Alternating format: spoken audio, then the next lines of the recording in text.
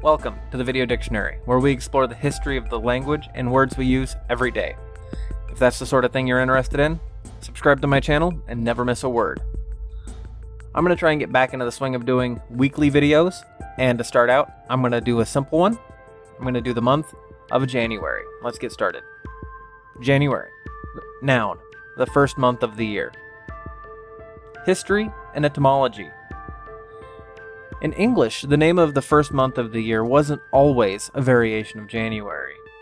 Before the Norman conquest in 1066, the English name was the Old English word Giola se Eaftera, which meant after Yule or later Yule. After 1066 and the Norman conquest, when William the Conqueror became King of England, Latin became the official language, and nearly all of the aristocracy spoke French natively. The word January became used in an official capacity when the Normans changed the official language of the government to Latin.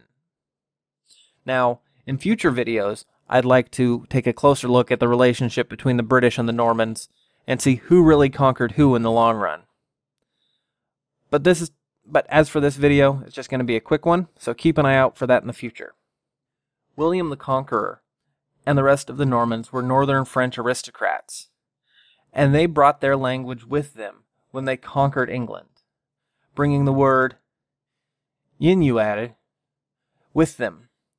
This word traces all the way back to the origins of the French language, Latin, where it was originally pronounced Ianuarius. The name of this month came from the patron god of the month, Janus. Janus was the god of doorways, duality, time, and beginnings, which is very fitting for the first month of the calendar year. The same can't be said about the meanings of the names of all of the months. For example, the months of September through December are pretty simply named, to say the least but that's for another video at a later date. Thank you for watching. If you've enjoyed this video or if you feel you've learned something, please leave a like and share this video with your friends. I plan on doing this every month, this particular type of video, until I've covered all 12.